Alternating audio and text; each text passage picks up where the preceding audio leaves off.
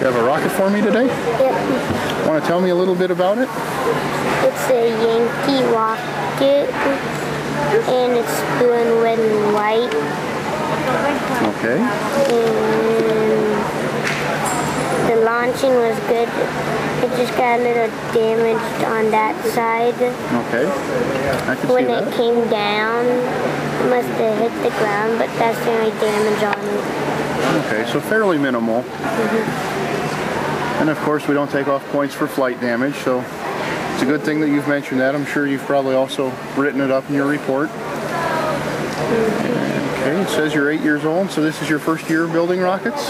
Yep. Okay. So what did you think of the experience?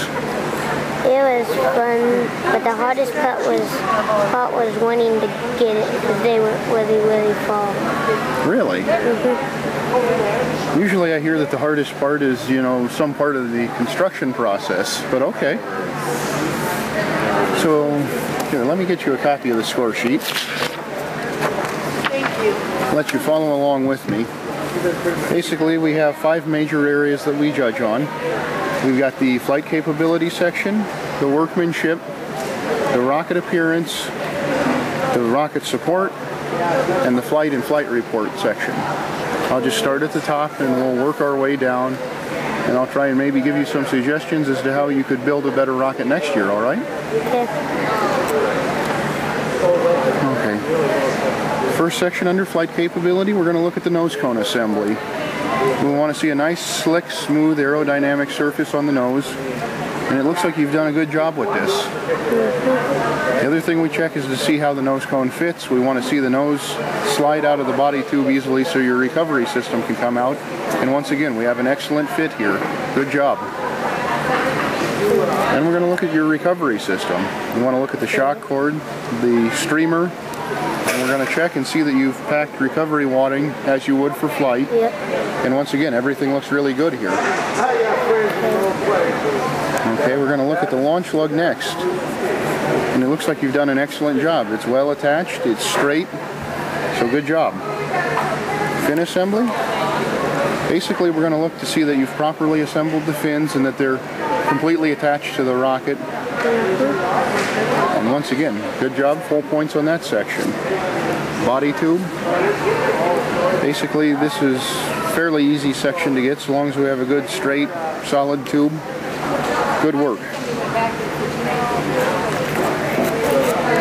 And your engine block seems to be in good shape, so we'll give you the full 25 points on the flight capability section. Doing pretty good so far. Workmanship, sanding. Did you do a lot of sanding on the fins? A little bit. A little bit? I did some on the edges to make them rounded a little bit. Right, around the leading edge of the fins. And you probably did some filling and sanding on the wood grain in the fin? Yeah. And it looks pretty good. Uh, ideally, we'd like to see these look smooth, almost like a sheet of glass, and you can see just a little bit of the wood grain, but not much. I'm going to deduct one point there, but just one out of five, so a very minor deduction. Gluing, we want to see a good solid glue joint in there. We want to see a nice smooth transition from one part of the rocket to another, and we want a good solid stable glue joint. And once again, things look really good here. Could be just ever so slightly smoother, but I'm just curious what it says for disaster kits. not quite perfect, but really close. So I'm going to take one point off for that section. Uh, straightness. Looks like you have the fins spaced an even 120 degrees apart. They're perpendicular to the body of the rocket. I'm going to give you four points on the straightness. The painting looks really good. We'll go full points there. Okay. We'll give you four points on the decals. So we've only lost two points, so 23 out of a possible 25 points there. Good job. Uh, rocket appearance. Going to get this put back together here for you quick.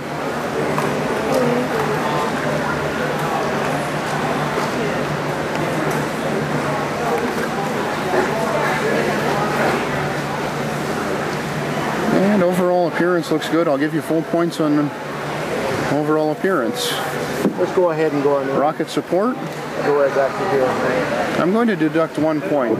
Overall, the rocket support is really good. We have a nice looking base, which helps with appearance. I would like to see you maybe put a couple of wraps of masking tape around this wooden dowel so that we don't have this little bit of wiggle.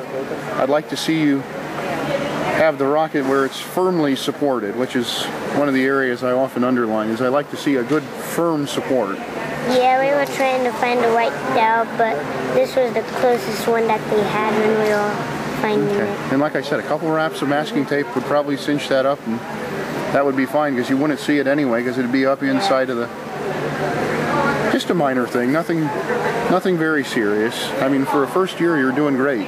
Uh, flight and flight report. I guess I haven't looked at that yet.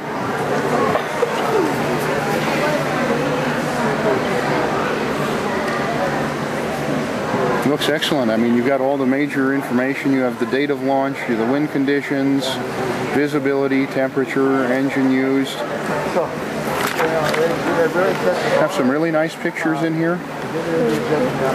So where did you launch it? Um, we launched it by a school, which I don't know where it was called, but it was it was a school and then there was a park. And Okay. launched it at So out in the park. here. Excellent. Excellent. Uh, we've got three launches, so you get your 24 points there, and the report looks good, so I'll give you all 11 there. So full 35 on that section. So we've got a score of 97 out of 100. It's going to be a purple ribbon. Is that all right with you? Did you have any questions for me? What I'm looking for? Why I scored it the way I did?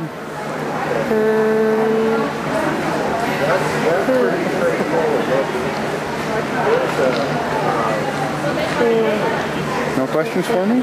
All right. Well, thanks a lot for bringing your rocket in. Hope you build another one next year and I, I can come back and judge it then. Keep up the good work.